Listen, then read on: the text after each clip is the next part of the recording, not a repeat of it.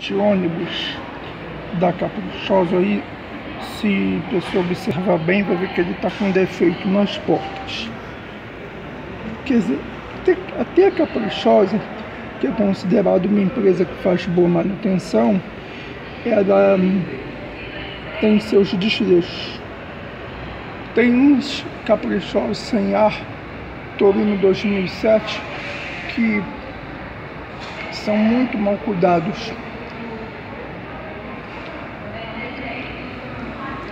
que eu falo?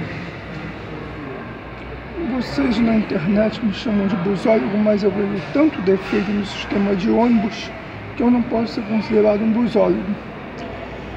Eu gosto apenas de desenhar um ônibus e de, e de ficar vendo o ônibus assim do lado de fora e tudo, mas não, não é o meu transporte favorito. Transporte favorito. Por, por mim eu só andava de Uber. Por mim eu, eu só andava de táxi. E é isso aí.